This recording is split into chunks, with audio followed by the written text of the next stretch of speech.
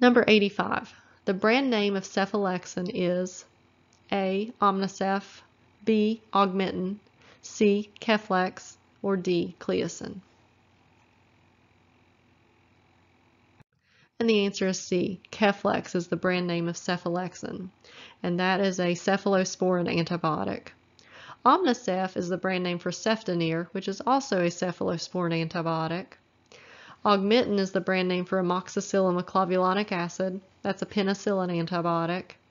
And Cleocin is the brand name for clindamycin, which is a lincosamide antibiotic. For more practice test questions, click below to see my complete Top 200 Drugs quiz and please subscribe to be notified when I have new videos. Thanks, I really appreciate it.